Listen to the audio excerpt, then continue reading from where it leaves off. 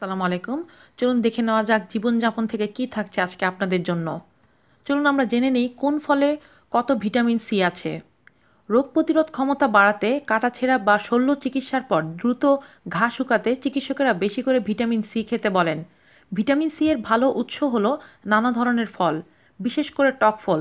গবেষকরা বলেন, একজন পূর্ণবয়স্ক নারীর প্রতিদিন পঁচাত্তর মিলিগ্রাম ও পূর্ণবয়স্ক পুরুষের নব্বই মিলিগ্রাম ভিটামিন সি খাওয়া উচিত। আসুক জেনে নেই কোন ধরনের ফলে এই ভিটামিন সি বেশি আছে। কমলা, একটা কমলায় প্রায় সত্তর মিলিগ্রাম ভিটামিন সি আছে। গোটা কমলা বা কমলার রস ভিটামিন সি এর চমৎকার উৎস। কমলার মতো অন্যান্য ফল যেমন মাল্টা বা জাম্বুরায়ও ভিটামিন সি অনেক। একশো গ্রাম মাল্টায় আছে বত্রিশ গ্রাম এবং একশো গ্রাম জাম্বুরায় আছে একষট্টি মিলিগ্রাম ভিটামিন সি। পেঁপে, পাকা পেঁপেতেও আছে বেশ ভালো পরিমাণে ভিটামিন সি। প্রতি একশো গ্রাম পেঁপেতে ষাট মিলিগ্রামের মতো ভিটামিন সি পাবেন। পেয়ারা। পেয়ারা ভিটামিন সি এর সবচেয়ে ভালো উৎস। একটা গোটা পেয়ারায় পঞ্চান্ন গ্রাম ওজনের একশো পঁচিশ মিলিগ্রাম ভিটামিন সি পাওয়া যায়।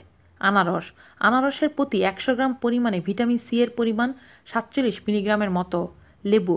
দেশি সবুজ লেবুতেও ভিটামিন সি অনেক। একশো গ্রাম লেবুতে তেপ্পান্ন মিলিগ্রাম ভিটামিন সি পাবেন। আজ এই পর্যন্তই।